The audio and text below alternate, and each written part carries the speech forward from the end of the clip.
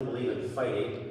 Um, I know it's called the DC Everest fight song, but we're a little, I don't believe in fighting, so we're calling it a school song. If you'd like to sing along, the lyrics are on the back page, and um, you give maybe your, your part of your choir concert as well, dual concert. So enjoy school song.